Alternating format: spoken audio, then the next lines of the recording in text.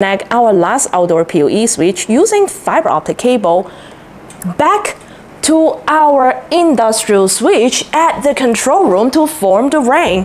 Hey tech enthusiasts, welcome back to Fast Cabling. Today we're diving into a real-world network setup challenge one of our clients runs a large manufacturing plant with multiple production buildings and outdoor monitoring station, and they need to install IP cameras and access point across their facility. But here's the challenge. These devices require low latency and high bandwidth connectivity to handle data-heavy operation. So to solve this, our clients want a 10 gigabit backbone network across their buildings, and most importantly, a redundant network that won't go down when one link fails. So how do we build that? Let's find out. Now when connecting multiple switches, a common way is the daisy chain. So now we have four industrial switch and a 24 port SFP switch. All we need to do is connect one after the other in a straight line. So switch 1 goes to switch 2. First we have to plug in our SFP transceiver and use a fiber patch cord to connect switch 1 to 2 so here I'm just going ahead to plug in the SFP transceiver. So 1 to 2.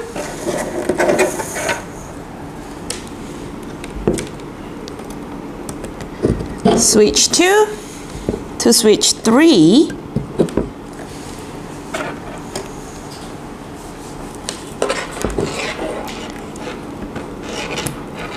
3 to 4.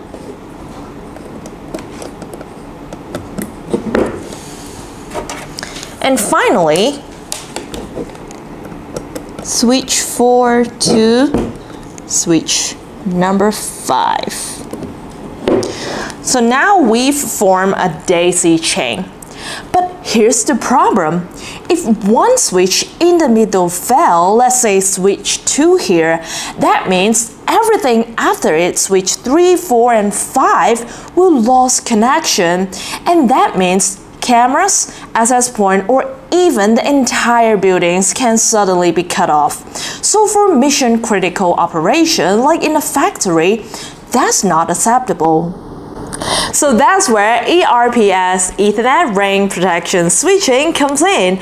Now instead of wiring the switches in a line, we connect them in a ring. So switch 1 goes to switch 2, 2 to 3, 3 to 4, 4 to 5, and finally switch 5 back to switch 1. I already plugged in the SFP transceiver, so let's begin.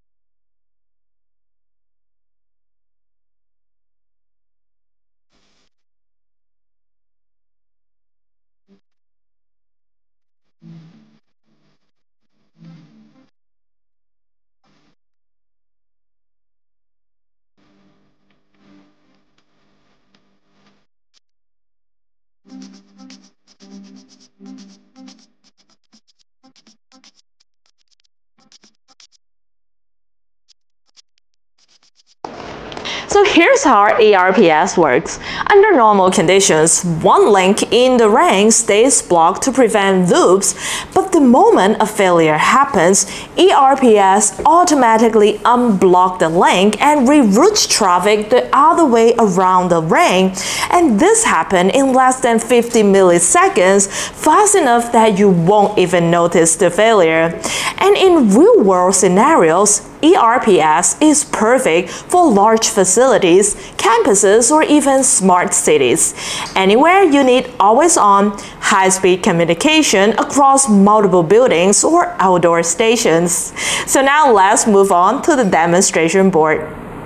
So here we've set up four outdoor 10G uplink PoE switch And each of these switches are connected to an access point and an IP camera. And we're using the 8-port L3 managed outdoor PoE switch with 4 SFP slots. They're designed for tough environment, supporting minus 40 to 75 degrees operation with a rugged waterproof enclosure, perfect for outdoor use. And they can also deliver power over Ethernet to our camera and access point while also giving us high-speed fiber uplink for the 10G backbone. So let's begin here at our industrial switch. This is our control room and we'll connect all this switch in a ring using fiber optic cable. Now when it comes to choose fiber optic cable for long distance setup between buildings, we recommend single mode pre-made fiber optic cable because they are designed to cover hundreds of meters or even kilometers without signal loss. And the pre-made ones are super convenient because you don't need special fiber tools or termination skills. Just plug and play. Now we have four string. Let's use string D here. And of course, to achieve full 10G performance, we'll need the 10G SFP plus transceiver installed in the SFP slot. Now, these modules, let me see, okay, we slide it in.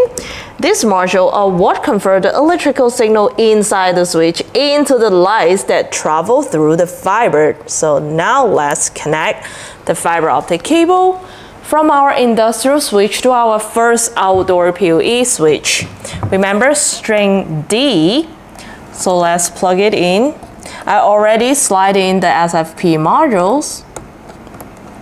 And then we are going to connect our second outdoor switch using another fiber optic cable. Slide it into the SFP transceiver. Remember, at each outdoor switch, we are using the Ethernet cable here to connect to our camera and the access point using power over Ethernet. So now our first outdoor switch is done and connected to our second one. The process are the same, so basically I already plug in all the cables to our third outdoor PoE switch and to our last outdoor PoE switch. This is the critical point. Now we are going to connect our last outdoor PoE switch using fiber optic cable back to our industrial switch at the control room to form the ring. So we used string 4. Let's plug it into the SFP slot. And connect the fiber optic cable back to here. So now I'm going to connect the Ethernet cable here from our network video recorder to our industrial switch and soon you can see all our cameras are alive. Now let's get to the best part. On our switches, enabling ERPS is simple because each one has a fast ring button which is right here. All we need to do is press the button on. Let's switch to on. Number one is for fast ring. So again, switch on here. And after we turn it on, they automatically form an ERPS ring. And that's it, no complicated command line. And now our network is fully redundant. So let's see it in action. Now I'm going to unplug the fiber optic cable here on our outdoor switch number three. Normally in a daisy chain setup, this would disconnect everything beyond this switch, but watch what happens. Now I'm going to wave my hand And you can see all our camera are still working fine. And that's because the traffic smoothly reroutes through the other side of the ring. This is the power of ERPS, fast recovery and seamless redundancy. And it also adds another layer of redundancy. If one link of the two fiber is damaged, the traffic can still flow through the other link. And now let's take it a step further. Remember, we have full strength fiber optic cable and since our switches have multiple SFP slots, so we can actually connect another fiber between the switches. This allows us to create link aggregation. With link aggregation, the switch treats two physical links as one single logical connection, effectively doubling our bandwidth. So instead of a 10 gigabit backbone, that means now we have 20 gigabits backbone. More cameras, more access point, and more data can flow smoothly without bottlenecks. And if you want to know more about how to configure link aggregation, you can watch my last video. So instead of a simple daisy chain, now we use ERPS to create a redundant fiber ring. And with the press of a button, our client's manufacturing plant now has a robust redundant 10G backbone network and with link aggregation, they can even scale up to 20 gigabit. And this is the kind of future-proof setup that keeps critical operation running without interruption. Now, if you are planning a large-scale deployment for IP cameras, access point, or even smart factory application, this approach will save you from costly downtime. Now, thank you very much for joining us. Please don't forget to like, subscribe for more real-world network solution. And I'll see you in our next video.